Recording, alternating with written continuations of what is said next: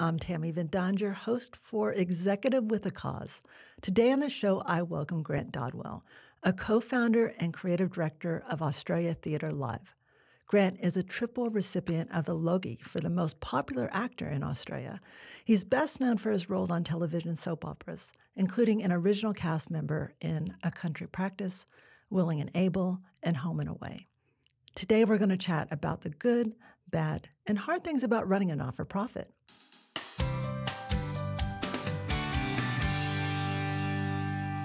Grant, welcome to the show. Thank you, Tammy. Pleasure to be here.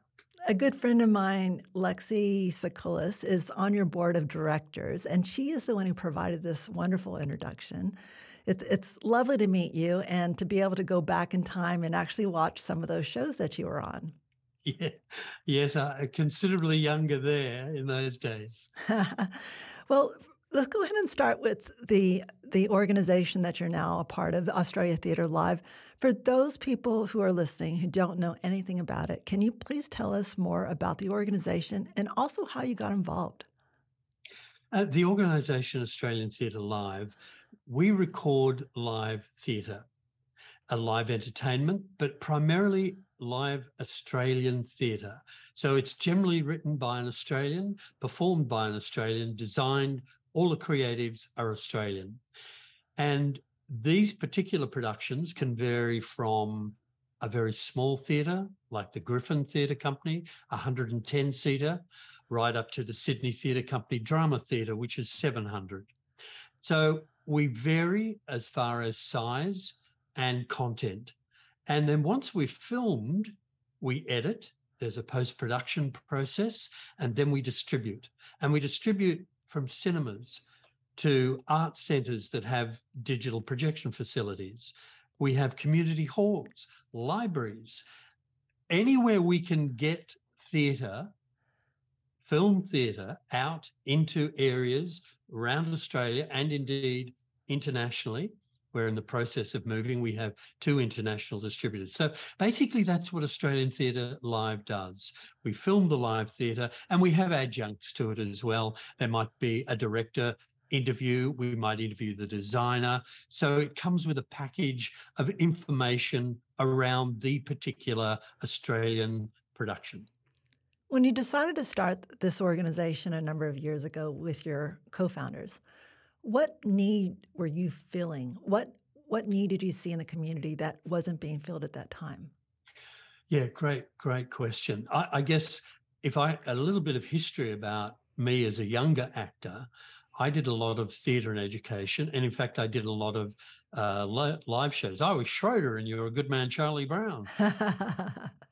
and we toured Queensland, New South Wales. And I was just telling my colleague, uh, Sean, who works in marketing, that in the old days, we were billeted like a football team. So we would arrive in a small country town and someone would say, Right, you and you, you're going out to this property, which is a 20 minute drive, a cattle station in the middle of Queensland. But they were part of the Arts Council. So what I guess I'm indicating is that there was a lot more actually physical live touring in those days. It, it, was a lot more economically viable. There was a lot more interest because of there, there's no Netflix. There was it was very much one television channel and whatever live show came to town. So I was witness to the reaction we got in these towns people were so pleased to see us. Some of them hadn't seen theatre before, and then once they saw us, became a theatre aficionados. They they wanted to see more.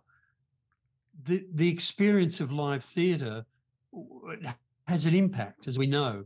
It's a very old profession and still has that impact. So I understood what happens when it tours and the reaction we get.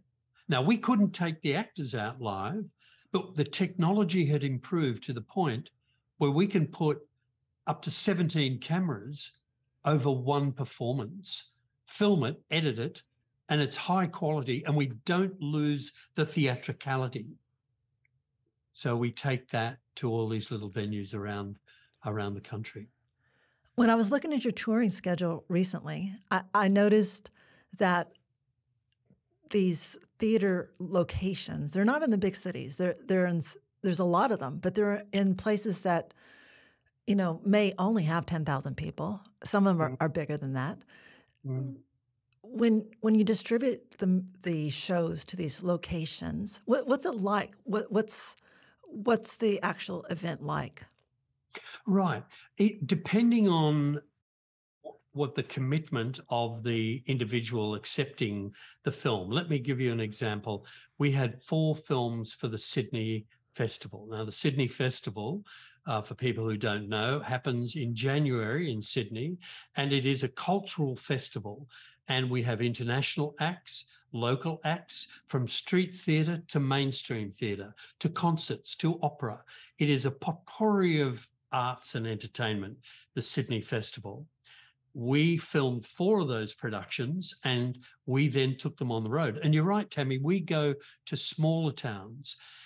We go to towns where those particular individuals, A, maybe can't afford to come to Sydney, can't afford the ticket price, but now have the opportunity to see it uh, along with everyone else in the metro areas. So that um, process can take many shapes and forms. It can be a little small community hall in Tumut. This time, what we did was added 10% of the gross would then go to a local medical centre. So a lot of the local councils came in on it. So we try as much as possible to make it a community event. However, sometimes it's on with Thor and you know, it's uh, all the big movies, Elvis, and then uh, suddenly you'll find that there's a, an opera that we've filmed that Australian Theatre Live has filmed. So in adventure, sometimes it's in a library in a little town that has 800 people, and they have the projection facilities, and everyone attends. Um, it, you know, in that town, we may only have 10 to 15 people, but we're a not for profit. and We need to get theatre out to the outlying reaches. I mean, we, we go right up to Queensland, to, to Charters Towers, right across to Margaret River. Um, you know, so many little towns, and it requires a lot of effort, of course. But yeah, and on occasions, like next week, we have a children's show and it's called Prehistoric Picnic, and it's by Erth Puppet Company, and they have puppets, huge puppets that you know one man or woman sits inside and operates the eyes and the mouth and all of that. Now we're actually getting the puppeteers and the puppets down to a special screening for 200 school kids. So they'll watch the play uh, on film, and then out will come the um, the puppets and the puppeteers for a, a, a, an interactive session live. It's amazing to think that so many children and adults haven't been exposed to live theater because of the size or location of where their um, communities are. It's great that you're doing that. When when you started a not for profit though around this specific goal of bringing theater to these regional locations, did you always have in mind that this was going to be a digital sharing of of um, theater rather than a, than the old school of going from town to town in the physical form? Yeah, yes. I mean, if you look at the economics, um, it, it, was it was it was just obvious. And the other thing too, Tammy, is I have a um, a corporate actor production company as well. So we work within the corporate area, although I'm not sort of working in that area at the moment. Um, but we filmed um, a lot of drama based training films. And so we understood the digital advancements, meaning that we can get high quality cinema quality with the cameras existing at a good price. So really the, the economics allowed us. And so in answer to the question, yes, it was always a, a choice of digital. Although we do produce live, we've already done one production where we produce the theatre ourselves. Okay. In and, film. Well, I mean, the the theater, this the live performance industry has been heavily hit by the COVID oh. lockdowns in Australia. Yeah. How? Yeah. because you were already digitally based, but obviously needed to film it at least once to be able to distribute it, how were you impacted as an organization during that time? You know, COVID, we were one of the only, I guess, industries that actually we had a spike. And it was simply because all the theatres were closed.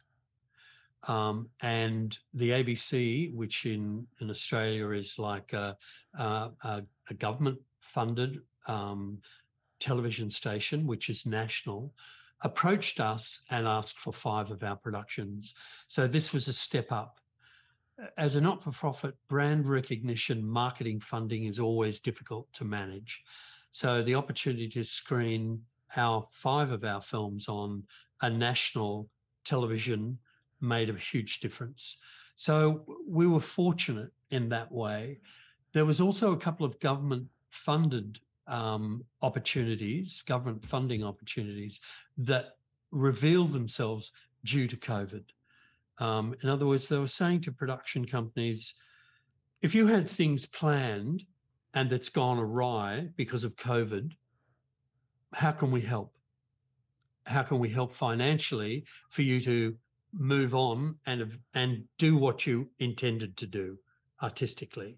So there were two benefits that came to us uh, during COVID. And quite honestly, Tammy, it was a good time for us to just to sit back a little um, because there was support from our, our government at that stage for organisations. Um, and I'm sure a lot of people tapped into it uh, to support your business as you are during this particular time. Has that time of reflection and also time of opportunity has it actually changed the way that you operate now? Yes. Um, look, initially it was just the three of us, and then the two of us, uh, and then there was an extra. We have three uh, part timers now, and honestly, since these younger, much younger individuals, um, Lucy, Emma, and Sean, who've come into the mix um, for three or two days a week, it's made a huge difference. Um, now, that came about through a reflection on we're working seven days a week. We're we're just twenty four seven. This is not good for the brain or the heart, physically and the soul. So we did expand, and in fact, we were it came about through the government support that allowed us to expand. And um, as I said, with these three individuals that have joined us, we have moved ahead leaps and bounds. Um, they're, you know, these these uh, Lucy and Emma and Sean are all under thirty. They they wear multitude of hats. Their thinking, their their their logic, their can-do attitude has really made a huge difference uh, to Australian Theatre Live. And uh, we're really grateful for that. I, you know, it, it evolves. I mean, we weren't a not for profit to begin with. I might just clarify that. Um, but the more we ventured into philanthropy and foundations, we realized that we we had to become a not for profit because sustainability was not happening and won't happen for some time. So the and, organization started with three of you. Is that right? Yep. As co-founders. And how did you get your initial funding? The initial funding was us.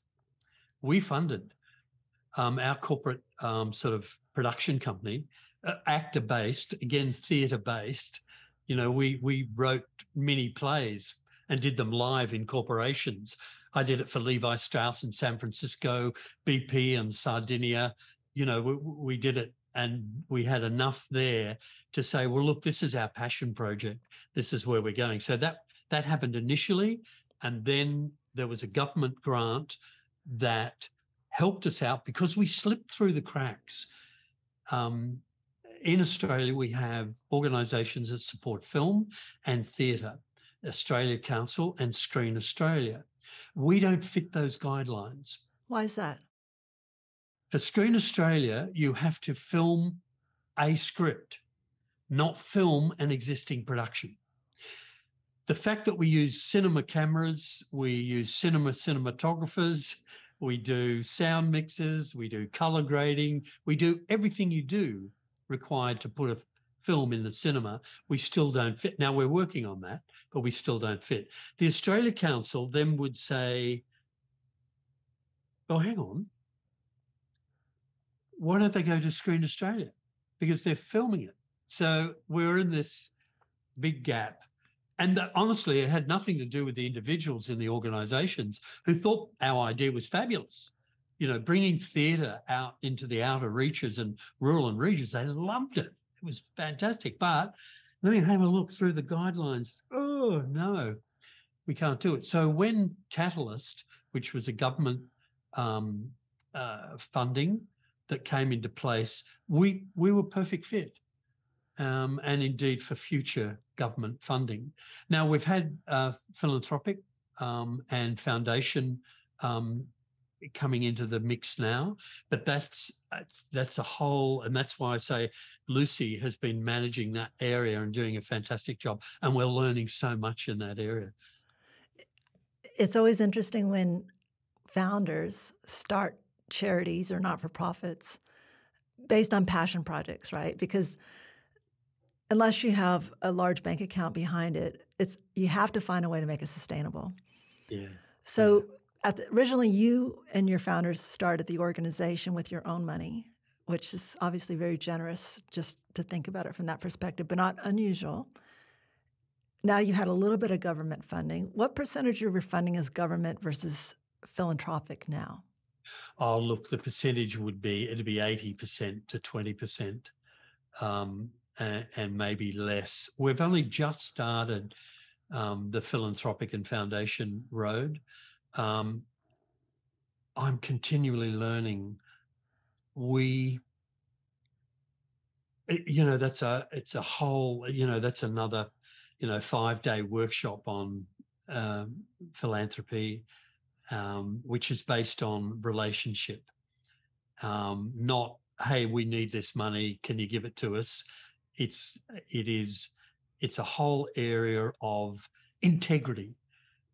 Philanthropic and foundation is all about integrity um, and integrity comes from understanding motivation understanding heart and soul and then the hard facts, the facts and figures, your your broadsheets, you know, your Excel, what you need, what your gaps are, what you're bringing to the nation, what you're bringing to the organization. So we are sort of in the early stages of that. And it's a combination of brand recognition too. You know, the more you're seen, the more that a philanthropic organization or a foundation will understand who you are. Oh, yes, I've seen you or I've heard about you. Um, so we need to, in fact, increase that because the government funding ends and it ends, uh, you know, in another eight months, and that's it. So we have a lot of work to do in order. Ticket sales, again, we're improving. Um, we're launching a subscription platform, a global subscription platform.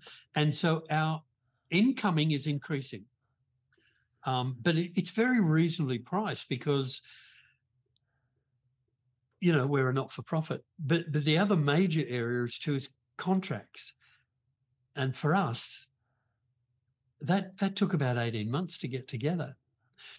Actors equity because we pay everybody, everyone gets paid, and that was part of our funding we initiative with the federal government. We said to them, we became custodians of their money and we shared that money. Sure, we paid ourselves a, a weekly wage in order to film the four productions for Sydney Festival. But most of that money was spent on cameramen. So, you know, we do, we expand up to 25 and then go back to, to five of us, you know, depending on how big the production is. Well, but that's I, a whole, yeah, sorry, I jump jump subjects there. Oh, that's okay.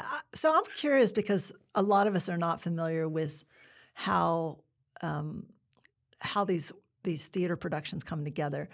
Mm. The the actors that you have, I know in some places the actors are all volunteer um, actors. Are, are you saying that each actor in these shows are being paid properly? Yep.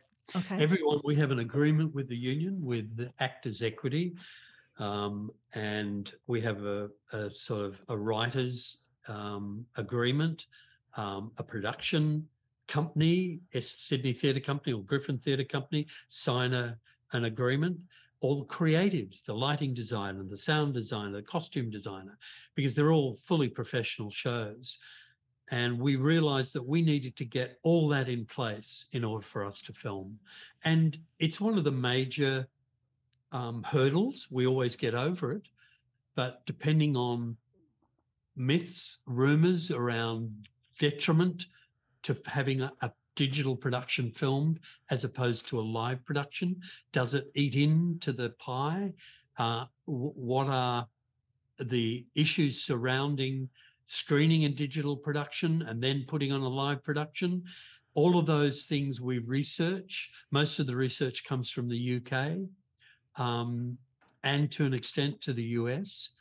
So, yes, we do. We pay. We pay all our cameramen their rates. We have to hire gear. Um, the edit process we do here, there's a little edit suite down the back there and then we we will depending on the budget send the sound to be mixed every actor is is mic'd so individuals when we do an opera every opera singer is mic'd and it's mixed into a 5.1 surround sound mix or a stereo mix our our main aim is to get the best highest quality we can it's not a matter of just putting one two cameras in one position we have crane shots we have a multitude. But then we might go down to a, a company that is a, a very small company that doesn't have those funds, or we will then say, well, we have the funds. So then we reduce the production, we reduce the, the camera. So it is the pre production and the processes needed to be put in place in order for us to film that production once are massive. So so questions just because once again i'm not familiar with this industry as well as some of the other ones. What's the majority of your cost? Is it around the actual paying the actors? Is it around the actual production piece? Like like as far as operational costs how does that break down for you well that, that's our, they're our major costs when we're shooting um, I would say, depending on the size of the cast, because you know if it's only two in the cast, well, obviously we have a payment of I think it's about 800 $1,800 per, and that buys us streaming rights for a particular period of time. It buys us television rights, um, VOD, uh, video on demand rights. So they're all broken down according to our agreement with Equity. Um, cameramen have a set rate. Some of them go through agencies or not. Um, I would say sometimes when it's a big opera, uh, the costs might be equal to the crew and cast. Um, and then we might, depending on the mix, it might be sort of five to six, seven thousand dollars for the mix. And then for the color grade, it might be three and a half to four thousand. So we can vary each production from, say, minimal 36,000 up to 110,000. Okay. And do when you talk about equity, does that mean that every time the film is shown that every actor and I guess crew person gets a percentage of the theater sales or the ticket sales during that time? Is that what that means? Yes, they do in the back end, but it's not immediate. It's not gross. So it uh, the writers get gross back end, which means it starts tumbling. But our agreement is that it reaches a certain level and then it tumbles out um, with a percentage split. The theatre company get a split as well. They get a 30% split. Our distribution company gets a split. So it's everyone gets a piece of the pie. Um, and uh, ultimately, at this stage, sustainability is some way off. You'd have to have a great accountant to do all yeah. this. Yeah, we do. That's the other member of our Michelle, who's our, who's our accountant. Um, well, we have a, a, company that because with the government grants, we have to do complete audits, and in some cases they have to have an independent audit as well. So bookkeeping is really, really part of it. But we believe with the launch, and it's all, it's a, it's progressive in the arts. It's you know, I can see it because I listened to a few of your the the podcasts, and there's a uh, that um, one in particular about the sleep, the bus. Oh, sleep bus, yeah. Sleep bus. You know, what a fantastic idea. Now, it seemed to me, and maybe not so, but it was fairly, its timeline from the idea to fruition wasn't too long. Um, it, it, happened. And, and a not for profit idea uh, like that, it requires the hardware of a bus the funding, the, the idea, the logistics. And oh, what a fantastic idea. With us, we're, we're moving within an arts industry that was deeply affected by COVID. Um, so the constants vary. And I think I, when I emailed you once, I said it's like satellites are flying around us, and you know we're we're using the the GPS on one and what not on the other. So we're continually learning and managing the the what's happening within the arts industry. We're primarily there to support live theatre. We know that research shows that more ticket sales, ticket sales increase. People who's never seen theatre will see a live film production in a small country town and go, I love theatre. That's amazing. Was that one show? How do those actors learn all their lines? Wow, that that was two hours right from the start to the beginning, non-stop. You know, because everyone's used to video where their all little scene is thrown together. So, you know, this ancient profession is alive in a digital form, albeit in a digital form. But yeah, going back to that. So, in other words, with Australian Theatre Live, we are we're on a, you know, I hate to use that word, but it's true. We're on a journey. Um, and ideas, opportunities arise.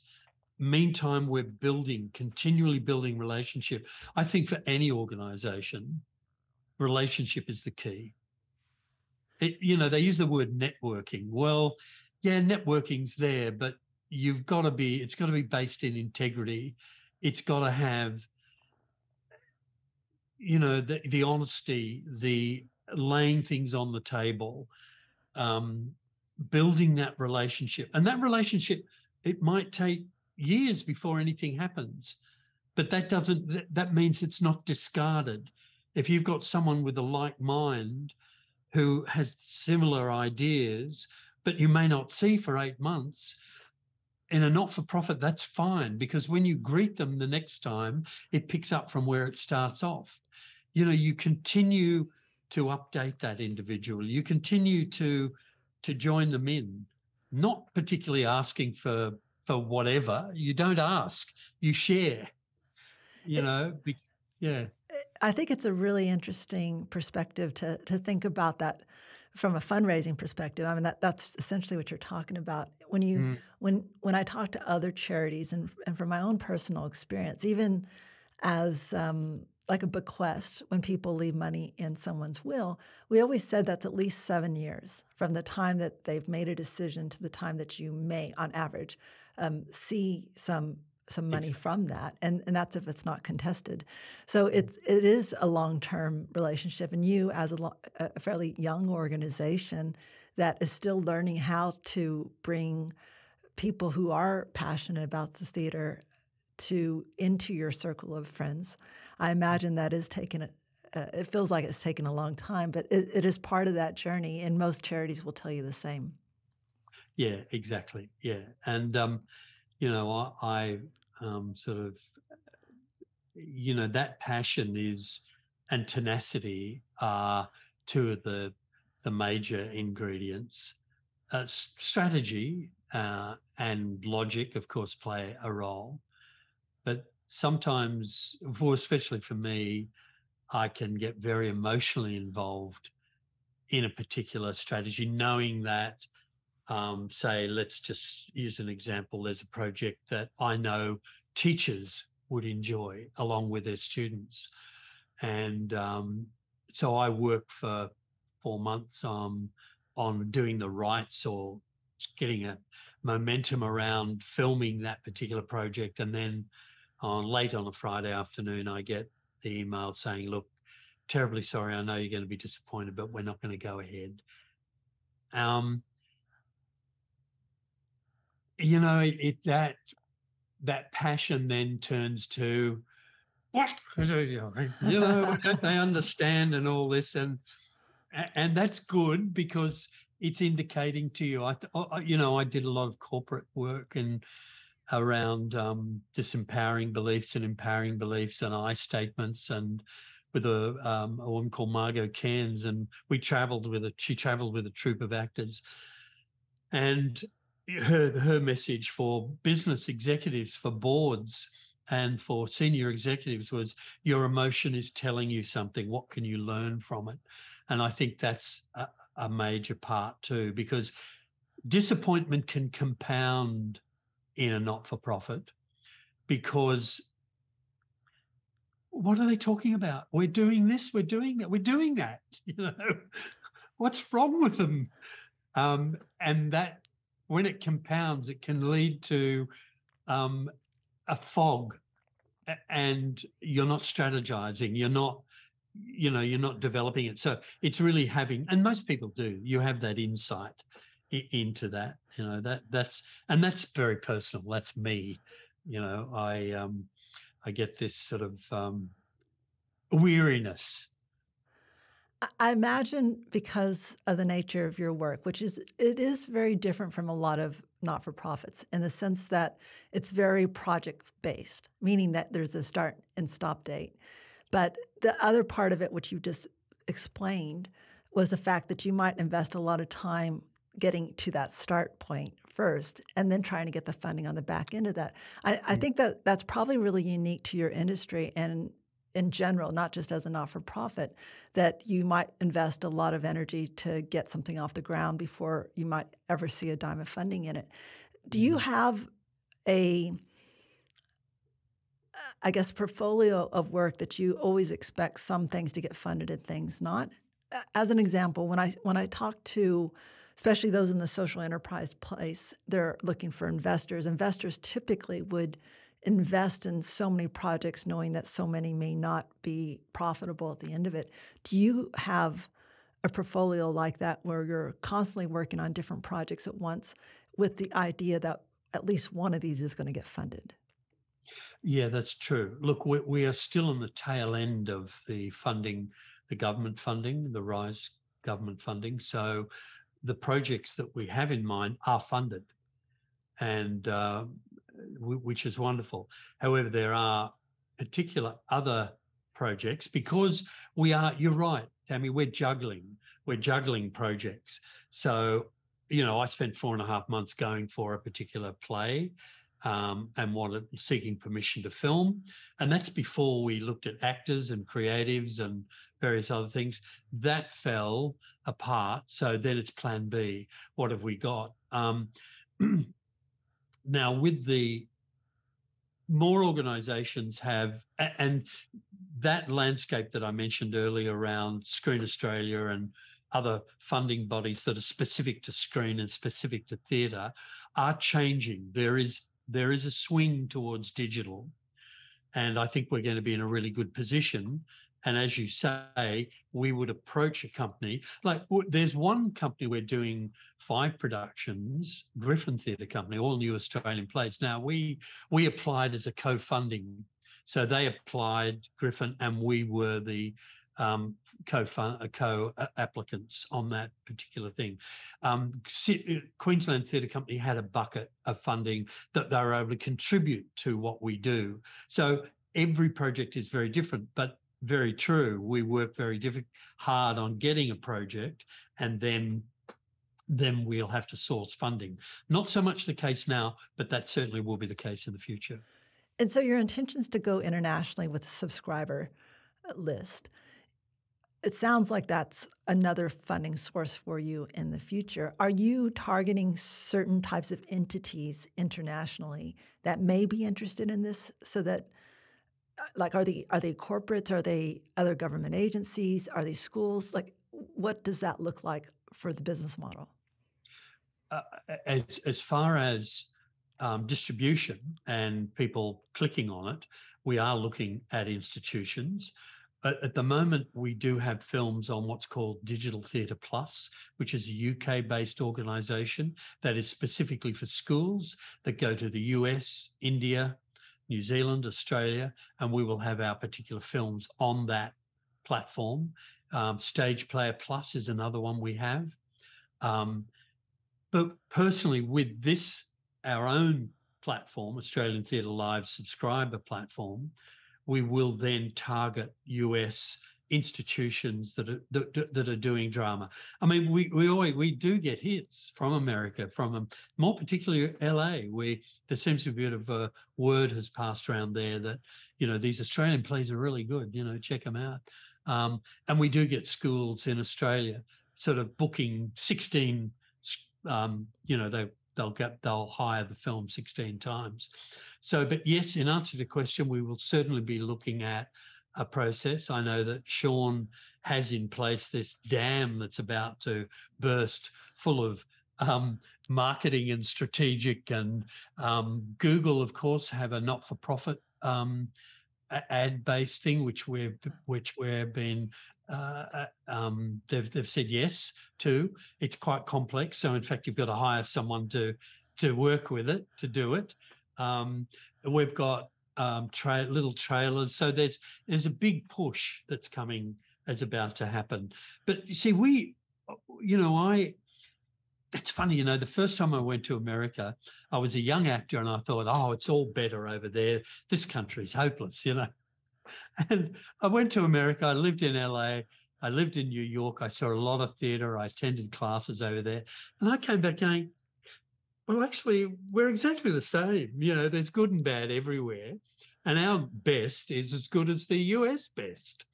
Um, so I came back reinvigorated on my trip to America and I started getting work left, right, and center.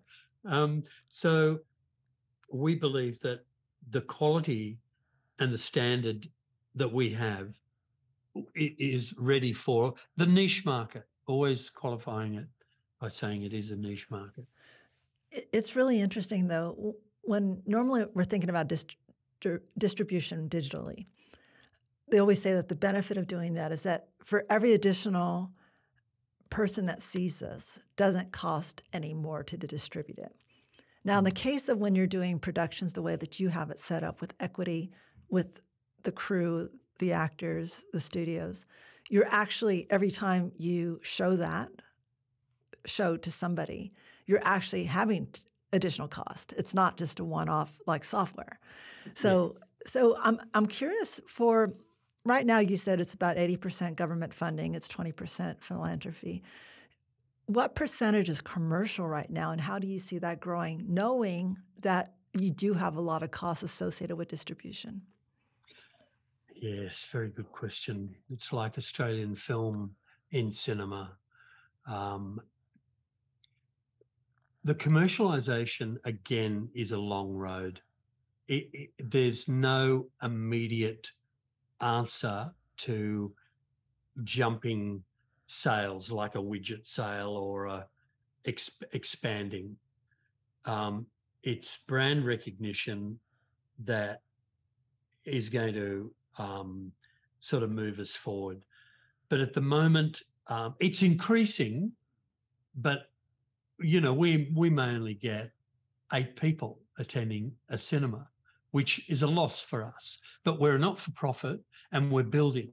So we've really got to keep that in mind that our costs are so minimal as far as an organization at this stage, that's it's passable. For sponsors, it's not good because they're looking at numbers. Some foundations are looking at numbers, but we're building numbers. But commercially, at the moment, if someone was looking at our books, they may turn to us and say, Are you nuts? you know? what are you doing? and uh, yeah, we don't think that way anymore because we know we can see the figures slowly climbing. I mean, last week in um, there's a Vimeo pay per view. I think it was 46 hits, 26. Now that's in one week. That's excellent for us. So there were 46 times they they hired out those films. 46 people in that one week. That, that's good for us. Now, once we expand it will get better. I wish I had better news about the commerciality of what we're doing, but I don't. And we don't, at this stage, we believe and have faith in that it will will grow. I, I spoke to, I, I, like to refer to Jim Lynch from Zealandia, who uh, built the conservation um, space in Wellington and and they had a a very long plan, meaning it was centuries long plan for them to know that the, that's how long it was going to take them to realize their vision. You know that this is a long game as well, and financial sustainability is more important than ever. How long is your plan in terms of to build that brand, to build that distribution rights, so that you can see it, ha- so that the organization has a future? Look, we reckon at the closest three to five years. I think that's on the figures that we've worked and numbers we've crunched and how incrementally it is it is moving every year, plus the marketing and, and gaining awareness. Um, but we, you must we mustn't yeah we mustn't forget that our primary aim is for people that can't people who are disabled, who have hearing issues, who who can't attend theatre for economic reasons, for distance reasons, and that happens. That's that's our vision. Sustainability is something we certainly need to get to, but along the way, it's not to lose why we're doing it. Mm.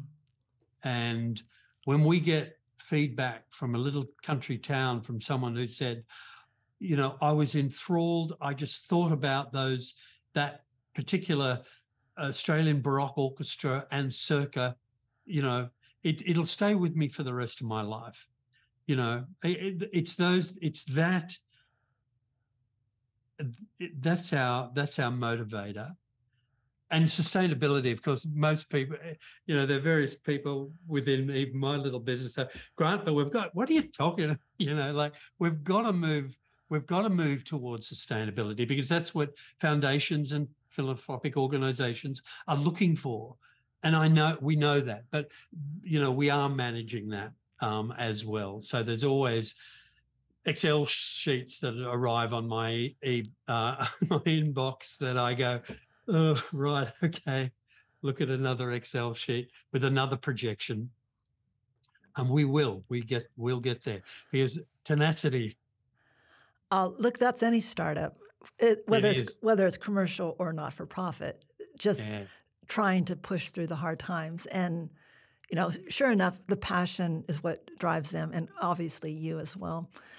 Grant, I'm conscious that we're we're out of time. So, if people want to get behind your organization and the work that you're trying to do, where should we send them? What what location should we send them to on the website? Well, Australian Theatre dot live. So Australian Theatre, one word. I'm just looking over to Sean. Australian Theatre dot live. That's it.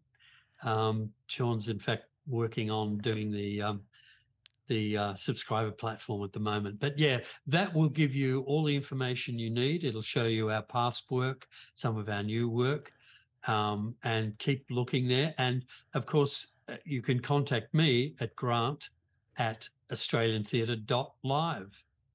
So one word, australiantheatre.live, and that's uh, where we'd love to hear from you. Any thoughts, any ideas, um, where you'd like to to see it. I mean, I get Northern Territory, small little schools that want uh, um, away, Michael Gow's away. Happens all the time. Schools and education is one area that we're concentrating on as well. Well, we'll make sure we put those into the show notes so that other people can find it if they can't remember at the time of their listening to the podcast. Grant, it was lovely to meet you. Thank you for sharing your story and the organization's history and, and where you're heading, recognizing it is a fairly young organization and it's in a difficult industry, an industry that is um, largely project based, that right now is um, dependent on government funding, but has certainly individuals have been hit pretty hard during COVID. It's great yeah. that you found some opportunity in that, and hopefully that will continue to allow you to grow that brand both locally and internationally, and to continue to do this great work of getting theater into homes that would not normally be able to access it any other way. So thank you for the work that you and your team do. Thank you for the opportunity, Tammy. Much appreciated.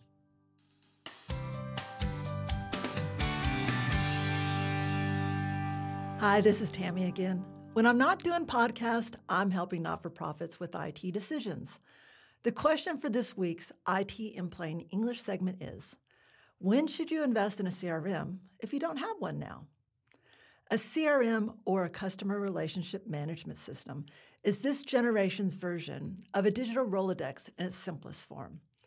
In the more complex versions, it holds all the data about your stakeholders and every interaction you have with them, regardless of channel. It may seem like every not for profit should then have a CRM, but I still know plenty of organizations that are using Excel spreadsheets and their email lists to do exactly what they need without one. So, if it's possible to run your organization without a CRM, when is it time to invest in one? My answer is either when one, your processes are too burdensome, or two, your data is so limited that you can't execute your strategic plans and objectives effectively. This means that if you only have a few FTE, an investment in a CRM may not be necessary at this time. Having said that, I've seen some of the smallest organizations use a CRM so well that they can do so much more than the average charity of their size. But this does require a leader and staff that are willing to fully embrace this technology and to personally invest in learning how to use it to its full capability. So there you have it in plain English. If you have an IT question you want answered, feel free to connect with me on LinkedIn and send me a message. I just might answer it on the show. And if you liked what you heard, please subscribe and leave me a review. To all of you executives with a cause, the world is definitely a better place because of you. Thank you for what you and your teams do every day.